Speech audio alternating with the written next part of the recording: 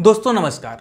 हमें इस बात पर गर्व है कि हम विश्व के सबसे बड़े लोकतंत्र में रहते हैं और यहाँ के मतदाता के रूप में पंजीकृत हैं। लेकिन अगर हमारी प्रविष्टियाँ गलत हैं तो ये अच्छी बात नहीं है। वो मतदाता सोची हेल्दी नहीं है। तो हमें प्रयास करना चाहिए, हमें चाहिए कि हम उन प्रविष्टियों को ठीक करा लें। तो अगर आपका नाम या कोई और प्रविष्टियाँ अगर गलत हैं मतदाता सूची में तो आप उसे ठीक करा लें प्रपत्र आठ को भर के। तो प्रपत्र आठ आप ऑनलाइन भरें या ऑफलाइन भरें। अभी हम बताएँगे आपको कि ऑफलाइन प्रपत्र आठ को कैसे भरा जाए। अगर आप बी हैं तो आपके लिए भी ये जानकारी महत्वपूर्ण हो जाती है। आइए देखते हैं प्रपत्र आठ को कैसे भरा जाए। इलेक्शन कमीशन ऑफ़ इंडिया ने प्रपत्र आठ को और आसान कर दिया और इसमें और भी फीचर्स को ऐड कर दिया है। पहले प्रपत्र आठ को हम भरा करते थे प्रविष्टियों के शुद्धिकरण के लिए, लेकिन इसमें और भी चीज़ों को ऐड किया गया है। क्या ऐड किया गया है? हम देखेंगे। सिलसिलेवार ढंग से शुरू करते हैं, एकदम शुरू से और सीखते हैं फॉर्म एट को भरना। आप इस फॉर्म को देखें, फॉर्मेट आपका ऐसा ही होगा। इसमें देखिए, सेवा में निर्वाचक, रजिस्ट्रीकरण ऑफिसर और आपको उस विधानसभा का संख्या और नाम लिख देना है।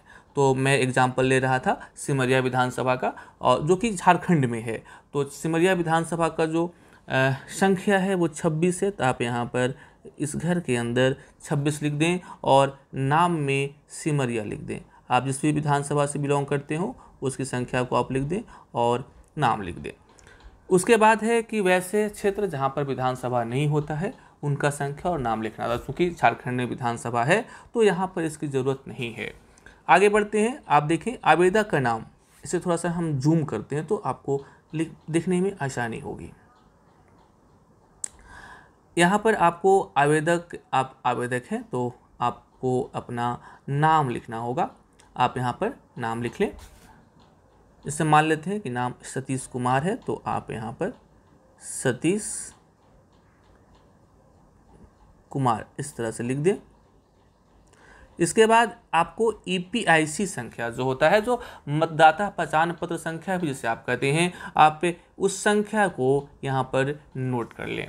उसके बाद आप आधार प्रस्तुत कर रहे हैं तो कब पर टिक करें और अपना आधार संख्या जो कि 12 अंकों का होता है, आप उसे यहाँ पर आराम से सही से लिख दें अपने आधार संख्या को, जो कि 12 अंकों का होता है। अगर आपके पास आधार नहीं है तो आप ख टिक करें और इसका मतलब यह है कि आपके पास आधार नहीं है और आप आधार प्रस्तुत नहीं कर सकते। आगे बढ़ते हैं, देखते हैं। आगे आपसे मोबाइल नंबर की डिमांड की जाती है। तो आप अपना, अगर आपके पास अपना मोबाइल है तो आप उस मोबाइल नंबर को यहाँ पर लिख दें। और अगर आपके पास अपना मोबाइल नंबर नहीं है तो अपने नातेदार का, जो आपके पिता माता या कोई और भी रिश्तेदार हो सकते हैं, आप उनका नंबर यहाँ पर लिख दें। अगर आपके पास ईमेल आईडी है तो आप ईमेल आईडी यहाँ पर लिख दें। अगर आपका अपना ईमेल आईडी नहीं है तो अपने रिश्तेदार के, में से किसी एक का ईमेल आईडी यहाँ पर लिख दें। आगे देखें, आगे क्या कहता है ये फॉर्म आगे कहता है कि मैं निम्नलिखित हेतु आवेदन प्रस्तुत करता हूँ। यानी यहाँ पर चार ऑप्शन है। इन चार ऑप्शन में से किसी एक के लिए अगर आप आवेदन फिल कर रहे हैं तो उसमें टिक करें। देखिए, एक में कह रहा है, निवास का स्थानांतरण मतलब आप जहाँ पर रहते थे, अगर आप वहाँ से कहीं और शिफ्ट कर गए हैं, और आप चाहते हैं कि वो आपका जो मतदाता पहचान पत्र है, जो वोटर आईडी है, वो जिस नए पते पर आप रहते हैं, वहाँ के पते से आ जाए तो एक पर टिक करें।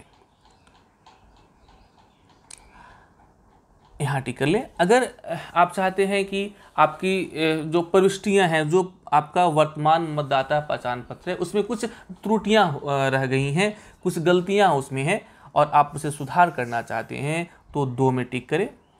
अगर आप चाहते हैं कि आपको ईपिक मिल जाए, यानी आपका मतदाता पहचान पत्र या खो गया हो या नष्ट हो गया हो तो और आप चाहते हैं कि आपको नया मतदाता पहचान पत्र मिल जाए उसके बदले में तो आप तीन नंबर को टिक करेंगे और अगर आप दिव्यांग हैं और ये चीज़ वोटर लिस्ट में डिनोट नहीं है और आप चाहते हैं कि मतदाता सूची में आपकी दिव्यांगता को वहाँ पर दर्ज किया जाए तो आप चार नंबर को टिक करेंगे। चारों में से कोई एक को टिक करेंगे और आप उसके लिए आवेदन करेंगे। और ये तो फीचर है ना, ये फीचर नया जोड़ा गया है और ये अच्छा फीचर है। एक फॉर्म में हम चारों चीज़ों को कर सकते हैं। ये इसलिए आसान कर दिया गया है फॉर्म को आगे देखें, आपने अगर निवास स्थानांतरण हेतु आवेदन किया है तो एक में आपने टिक किया होगा। तो यहाँ पर उसका डिटेल्स भरा जाना है, आप देख लें। इसमें कह रहा है कि आपने निवास से स्थानांतरण कर लिया है और आप अनुरोध कर रहे हैं कि जो पूर्व पते में आपका इपिक संख्या था, उसको स्थानांतरित करके नए पते पर उस इपिक को, उस मतदाता पहचान पत्र को जारी कर दिया जाए और आप उस पुराने इपिक को वापस भी करते हैं। तो आपको वर्तमान मामली, जो वर्तमान निवास है आपका, उसका पूर्ण पता यहाँ लिखना होगा।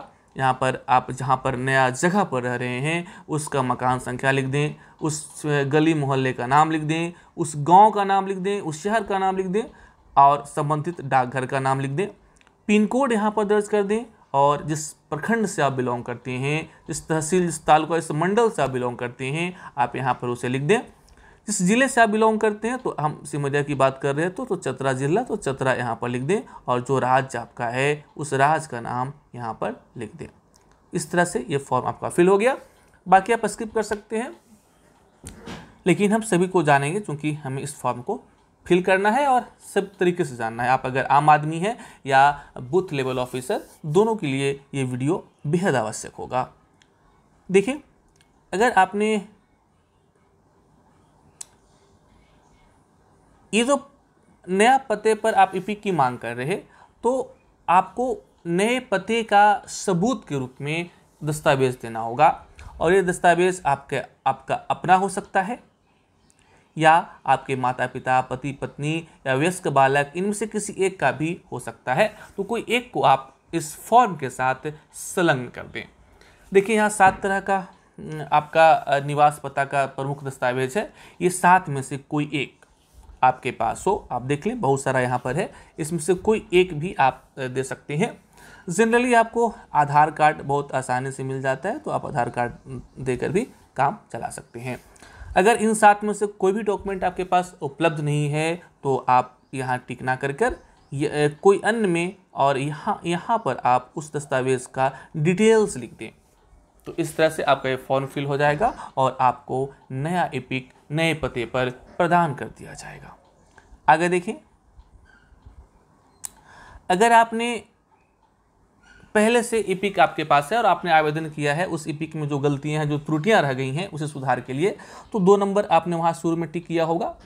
आप देख लें, आप यहाँ पर आपने दो नंबर में टिक किया होगा और दो नंबर में आपने टिक किया होगा तो फिर इस दो नंबर वाले घर को अच्छी तरह से भर लें।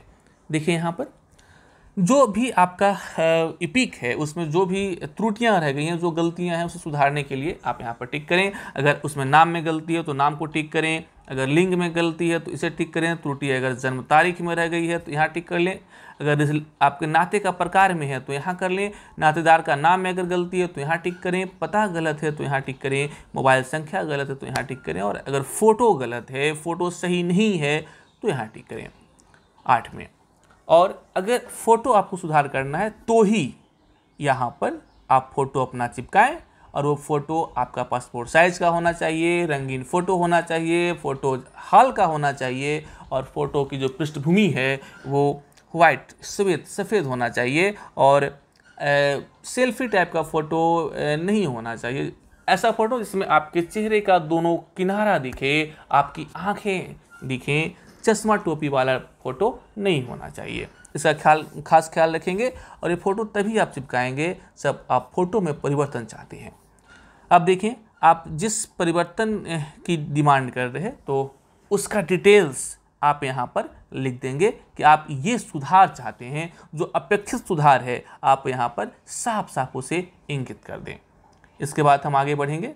देखें क्या है, जो आपने सुधार के लिए आवेदन किया है, जिन प्रविष्टियों के लिए उस प्रविष्टि के समर्थन में आप दस्तावेज़ दें। और क्या दस्तावेज़ आप दे रहे हैं, उस दस्तावेज़ को यहाँ पर आप लिख दें साफ़ साफ़ और उस दस्तावेज़ को इस फॉर्म के साथ संलग्न करके बीएलओ को दे दें।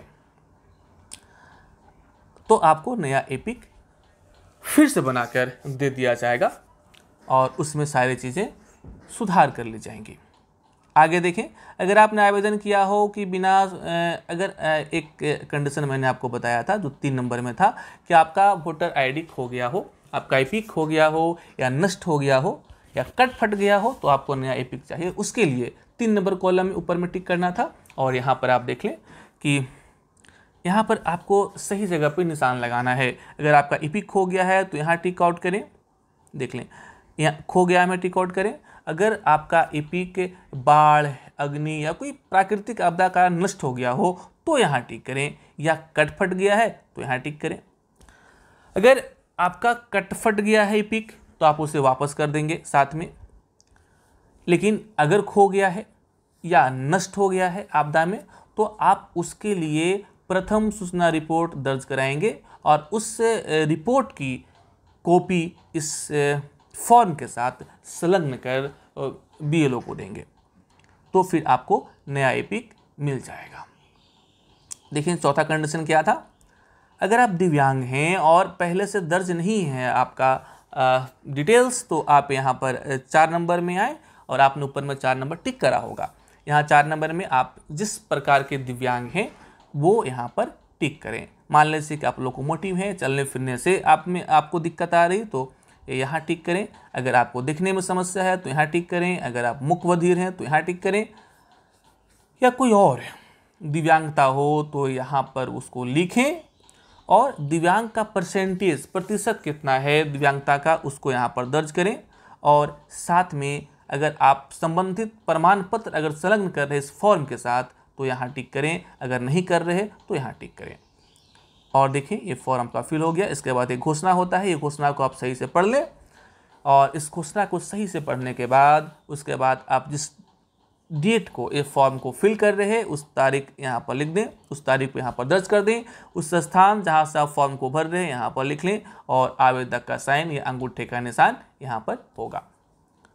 इसे कर लें, उसके बाद आप बी को दे दें, या बी हैं तो आप आवेदक से ले लें, और उसके बाद आवेदक को आपको रसीद भी देनी होगी कि उन्होंने फॉर्म भरा है।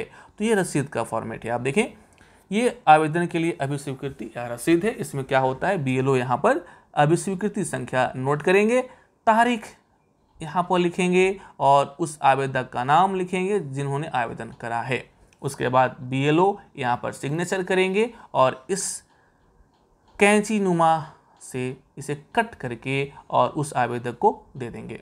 इस तरह से आपका परपत्र आठ भरने की जो पूरी प्रक्रिया थी, वो संपन्न होती है और आप जिसके लिए भी आवेदन आपने करा होगा परपत्र आठ में, वो चीज़ें सुधर कर या परिवर्तन होकर आप तक पहुँच जाएँगी। ये वीडियो आम जन के साथ साथ बीएलओ के सहयोग के लिए बनाया गया था। अगर कोई त्रुटि दिखे तो त्रुटि निराकरण के लिए या संदेह समन के लिए आप बीएलओ हैंडबुक आरओ हैंडबुक या फिर संबंधित अधिनियम को जाकर देख सकते हैं। बहुत बहुत धन्यवाद आप सभी का।